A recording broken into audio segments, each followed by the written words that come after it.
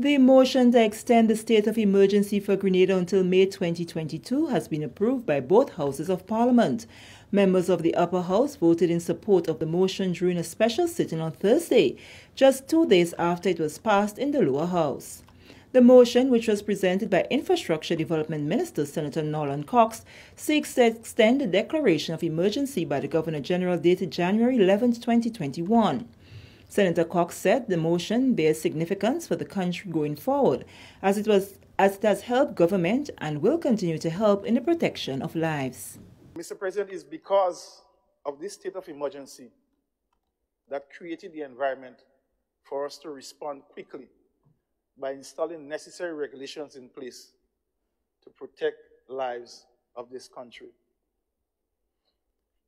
We work together, Mr. President, with all our stakeholders to ensure that we put those measures in place and we educate as quickly as we can. Because at that time, as a government, you are learning. As information change, as the scientists update how we should respond, we quickly make those changes.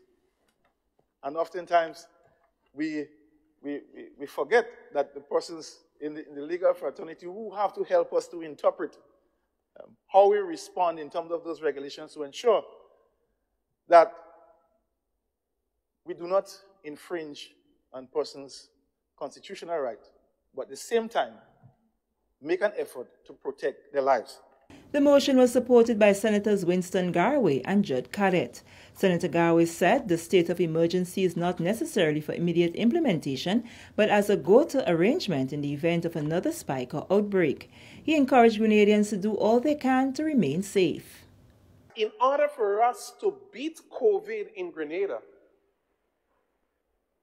every man, woman, boy, girl have a responsibility first to themselves and, of course, to the families. To follow the protocols and to, at all times, be aware of the dangers that is lurking outside there.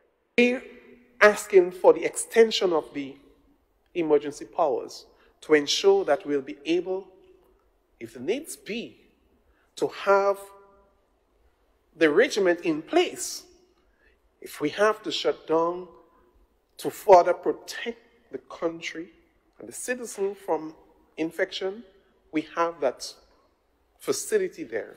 Senator Cadet explained that government is not thrilled to implement a state of emergency. However, as leaders, they deem it necessary to limit movement and interactions that can cause a spread of the virus. We must lead as charged with the responsibility to protect the lives and livelihood of every Grenadian, we must lead from the front. And so, Mr. President, this state of emergency must be extended. Whether or not there will be an extension after May 2022 will be highly determined on the state of the virus. And we cannot promise, my dear brother, that it will not be extended again. We just certainly cannot do that. That's just the nature. The virus, if the virus continue to mutate, if we continue to have low rates of vaccination in our, in our community, in our society, then there's a high possibility, there's a high chance that it may be extended again.